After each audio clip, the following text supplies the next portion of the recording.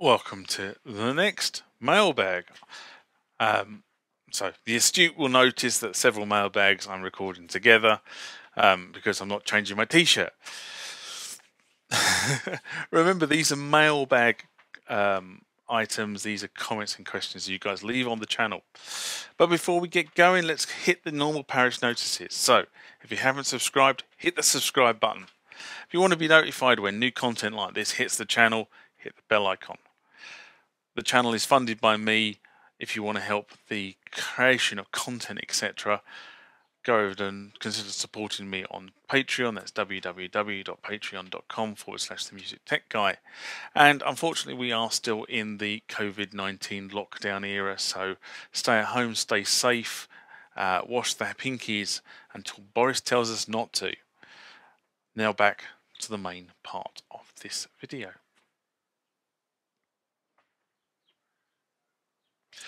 Okay, first one in this session comes from Kieran Mitchell. And he writes, I've been trying to connect my Roland TD15 drum kit to my computer for the first time uh, to play with GarageBand stroke Logic. My Mac has auto updated to Catalina, which is 10.15. Uh, my Mac uh, and the TD15 is not being recognized as being connected. I can't seem to find the drivers for the TD15 either. I've tried using the TD15 drivers for older version OS versions, but it's not working working. Do you have any advice? Cheers. So this is in response to a video I did uh, early part of this year in January, end of January 2020, um, where I did a video about upgrading drivers um, because of the implementation of Catalina. Um, now, I think in the video, about four minutes 20 in, um, in that particular video, I should say, there is a section about checking the security um, of a recent driver installation. Now, what's happened with uh, when 13 came in, not so much with 14 because 13 already made the changes, and then again when 15 came in, is Roland, uh, sorry, Roland, Apple have actually made some fairly big changes to the security mechanism. Um, and one of these changes is that if you load a driver from a non uh, Apple source, the OS will probably block it by default because that's what it's set up to do. Um, and what you have to do is within 30 minutes of loading the driver on the machine, you have to go into security and you have to um, unblock it. And if you don't do it within 30 minutes, then you're going to have to uninstall the drivers and start again um, because you can't, after that 30 minute window is out, effectively the security exception has expired and you've got to go, you've got to go around the whole loop again. Um, uh, and that kind of might get you over the line. The the issue is, I don't think it will. Um, and the reason I say that is because having looked at this, I found that the uh, the last update for the TD15 driver um, was quite a few versions of the operating system ago, and I seem to remember it sort of being something like 10.09 um, at a guess. Uh, and it's a 32-bit driver. And Apple were very vocal before Catalina came out in saying that they are now only supporting 64-bit drivers on their 64-bit operating system, which kind of means that if you've got a 32-bit driver, which I suspect this TD15 driver is, then the likelihood of it working on Catalina is pretty much slim to none. Um, and unfortunately, I think the honest answer is you're you're a bit stuffed. Uh, and this kind of kind of annoys me. Um, in fact, it kind of really annoys me because you've got effectively a perfectly serviceable piece of equipment that you can't use how that equipment was designed to be used, i.e., plugged into your Mac to trigger things within MainStage, Superior Drummer, Logic, whatever it happens to be. And I think as a community, we should be really raising support calls with Roland's to get these unsupported drivers updated. Um, because I think it's unresponsible of Roland as a manufacturer to effectively cease support of these pieces of equipment, which are perfectly serviceable. There's nothing wrong with them, but they effectively are um, making them obsolete by not continuing to update the drivers and fix driver issues caused by manufacturers or operating system manufacturers doing operating system updates.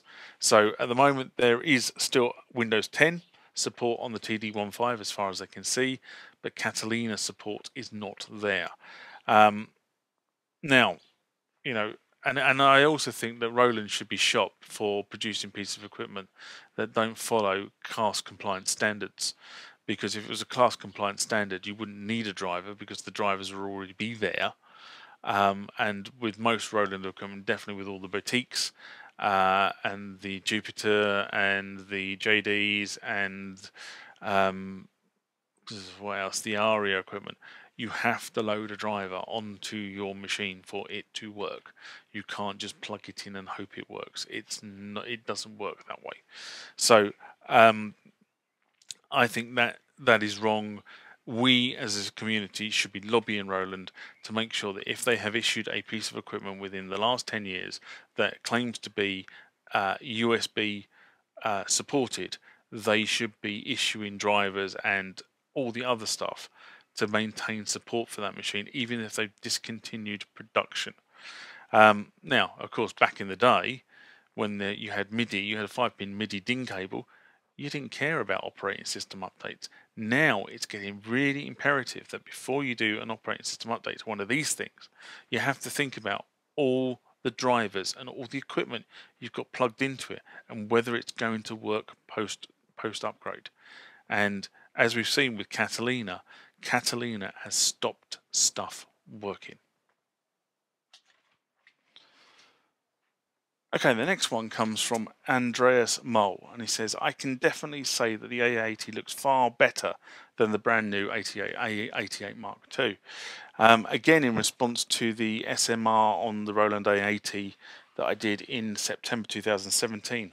Um, well, one of the things I can say is the A80 is considerably heavier than the A88 Mark II. Um, in terms of, I can tell you now that the A80 needs two people to lift it. I've lifted it myself, but I normally encourage somebody else to be there when I'm lifting it because it is very, very heavy. Um, and I'm not sure how I, however the A88 is, but given the fact it, for starters, will not have a uh, transformer in it and it does not have a solid key bed the same as the A80 it will be lighter for those two elements definitely. Um, the new controller claims to have um, the same action as the mid-range FP pianos. Um, I was watching uh, Woody over on Piano Shack do a review of the A88 Mark II um, now as far as I'm aware this is not the same action on the high-end Fantoms uh, FP pianos and RD models. So those top of the range models, it's not the same action as those, but the the lower range models, so uh, it is the same action as those. Um, the A80 keyboard, as far as I remember, is I think the RD1000 uh, keybed, which was phenomenally popular at the time. The RD1000 was a phenomenal workhorse if you had one of those. Um, the other main thing I noticed with the A80 and the A88 Mark II is there is no screen on the on the on the unit itself, so uh, you do need a laptop or a workstation to be present to actually understand what's going on on your MIDI controller, uh, rather than what you could do with the A80, which is you could look at the screen and understand what the A80 was doing, um, because there was no computer interface. Um, and the last thought, or maybe of concern, um, is related to what I said on the previous um, comment is all about this class compliancy and driver unloading drivers, etc. Um, you know, many people have been upgrading to find that their perfectly serviceable Roland equipment would suddenly stop talking to their computer, um, and that's I think is going to be an issue uh, going forward. And you know, it sort of kind of sort of puts me back into my legacy tech mode because, as you know, this channel was born out of my love for legacy tech. Uh, in legacy tech mode, you have a five pin MIDI DIN cable, and to be honest, five pin MIDI DIN works with everything. So the next one comes from Alexandra Senna. Um, and this is in response to the DX7 restoring from cartridge video I did way back in April 2016. And she writes, This is great. Any pointers to do the same but without the original cartridge? I guess it is possible by Sysex. It is indeed. Um, I'm asking this because the synth pops on screen with a message battery issue, but I imagine once it is replaced, I need to reload all the info again, but don't own the cartridge. Any help will be greatly appreciated. Thanks.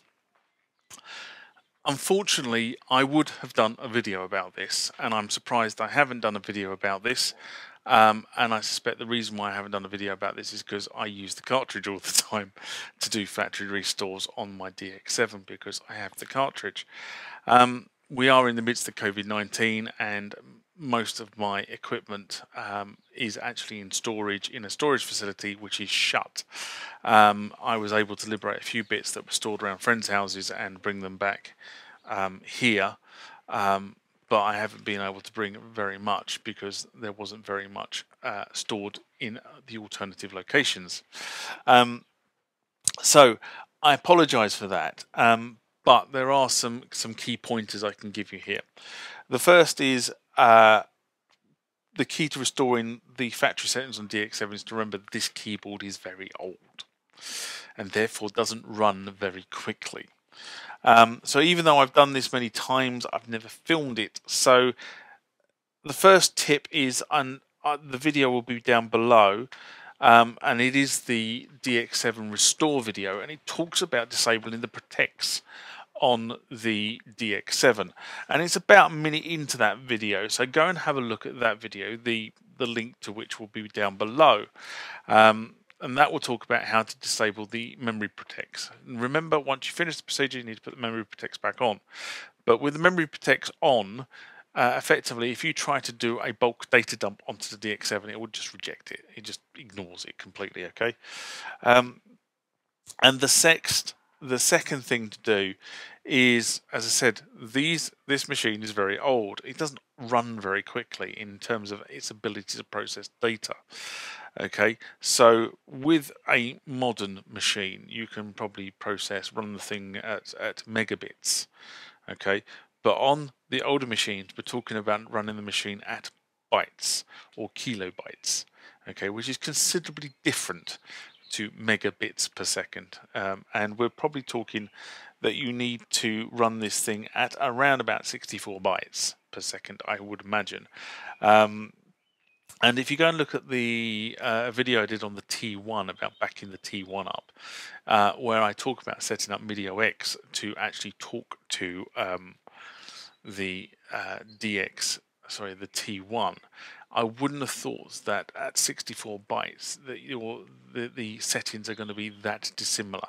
So go and have a look at that video. The link is going to be down below and it's about three minutes in. I talk about OX speed setup. Um, and when lockdown finishes, I will go and grab my DX7 and I will do a video on this because I get asked this quite a lot. Okay, last one for this section, or this mailbag segment, um, comes from Guitar Plo. Um, and he asks uh, two questions actually.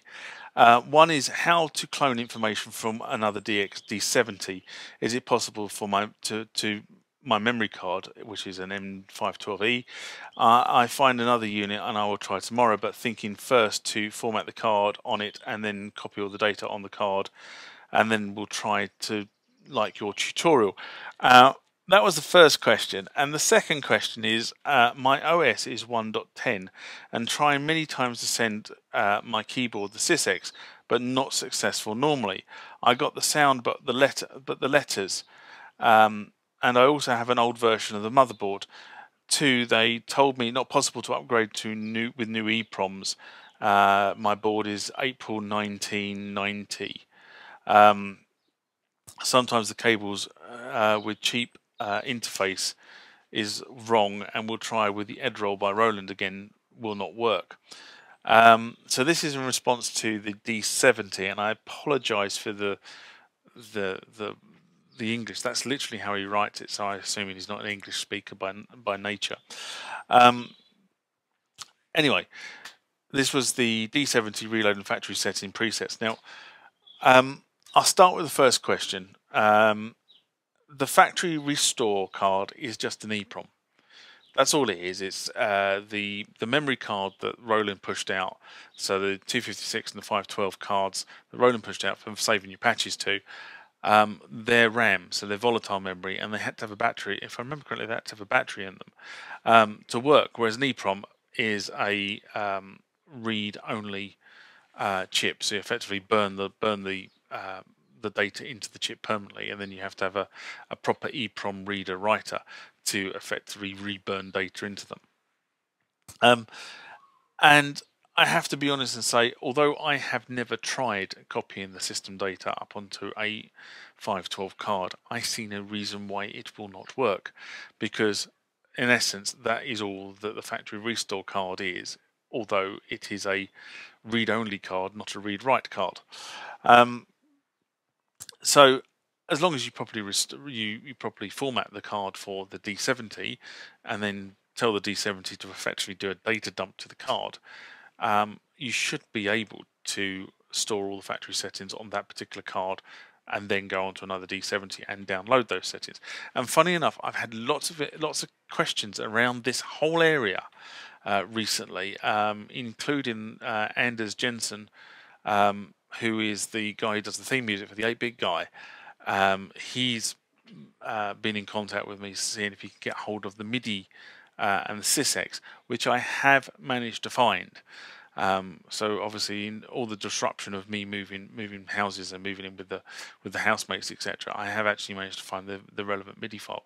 Um, for restoring, but he had he's had a nightmare restoring his D70.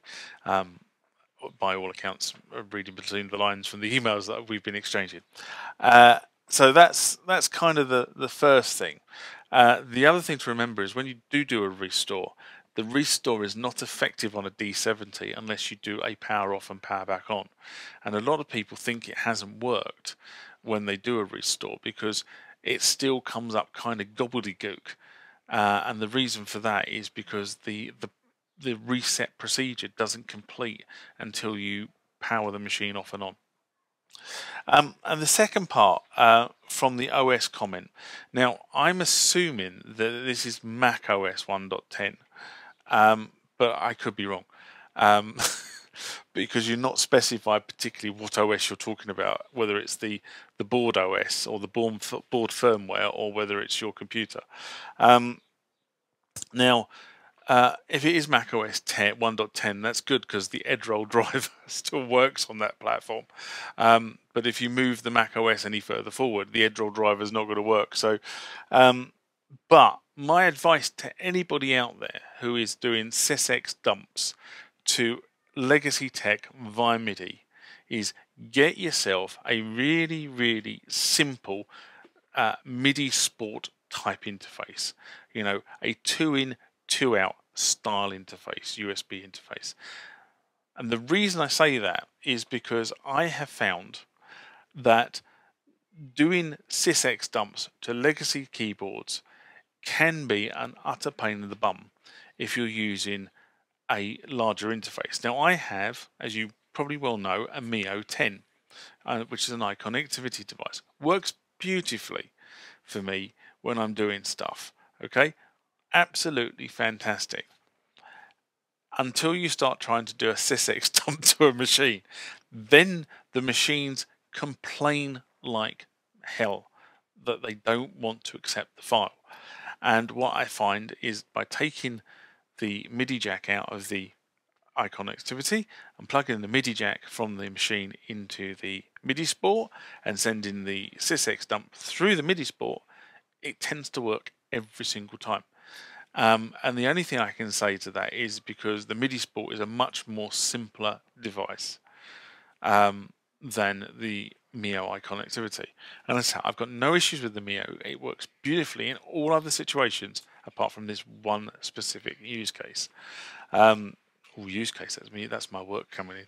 Um, uh, so that's kind of what I would recommend, and I'd recommend it to anybody else on this channel uh, who's watching this video, if you intend to restore uh, files to legacy tech, get yourself a simple interface to do it with.